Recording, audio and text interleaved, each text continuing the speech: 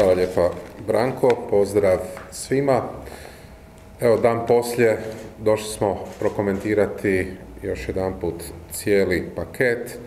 Već ste čuli da je on i snažan bez presedana 21 milijarda kuna ulaganja, ali on ne bi bio moguć bez rada vlade zadnjih gotovo 7 godina.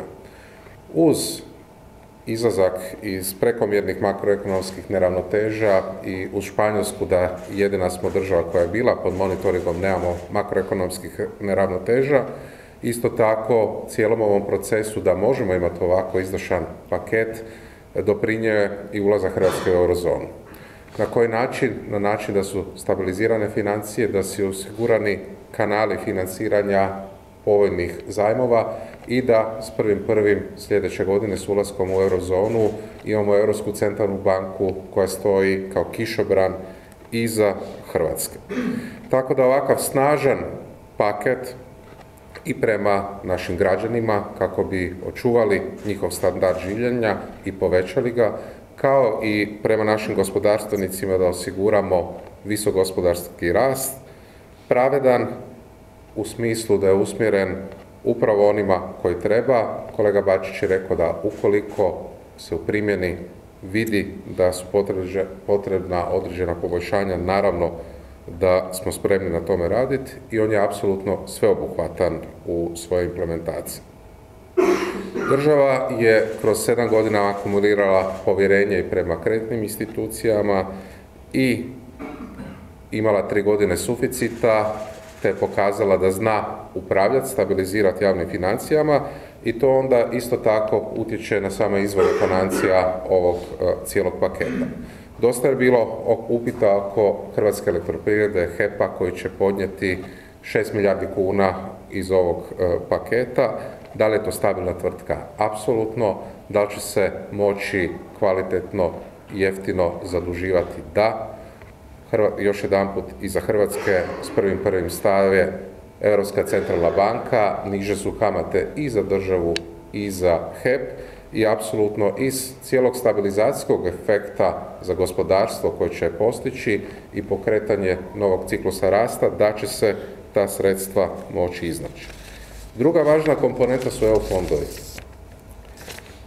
Već smo rekli da smo do sada imali 10,7 milijardi eura, a sljedećih 10 godina imamo 25 milijardi eura na raspolaganju. Od toga dio sredstava uključen je i ovaj program. Pa tako svi potpore za zelenu i energetsku tranziciju gospodarstva 1,9 milijardi kuna ide iz nacionalnog programa oporavka i otpornosti, kao i milijardu kuna za energetsku obnovu kuća i zgrada zajedno iz MPO-a i europskih fondova. Dio socijalnog paketa moći će se isto financirati iz EU fondova, udvostručenje sredstava za program Zaželi za dodatnih 250 milijuna kuna koji će osigurati posao za 5000 žena i skrb za 30.000 naših starijih građana, isto će biti iz EU fondova, kao i iz mjere aktivne politike zapošljavanja.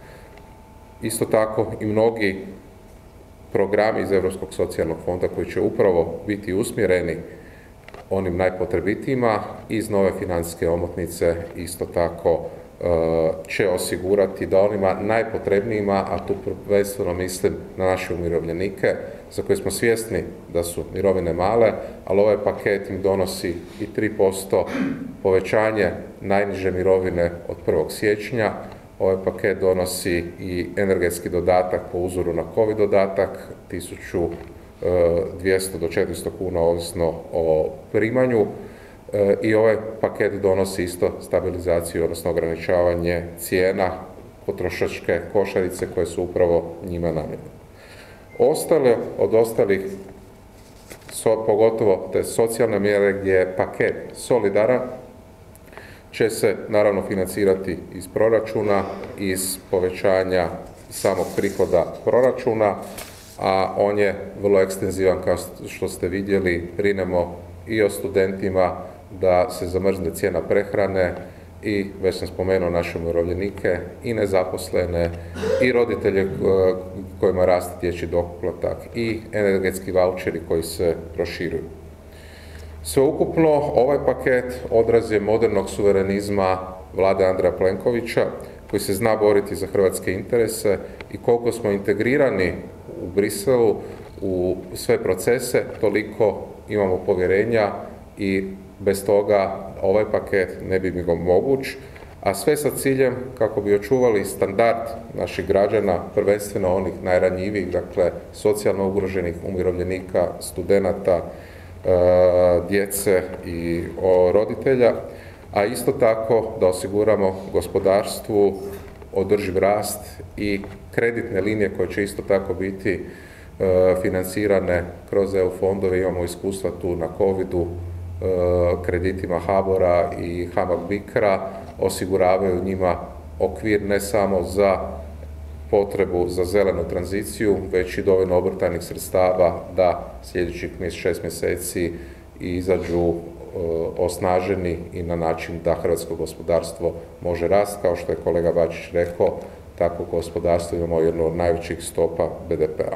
Sveukupno, vlada je pokazala snagu države i pokazala je znanje i da može u ovoj godini kada ulazimo i u Schengen i u zonu i završen Pelješki most, da je ovo godina kada vlada isporučuje i ovaj paket jasno da je signal našim građanima da HDZ i vlada Andra Plekovića to i tekako zna i upravo im pruža. Hvala.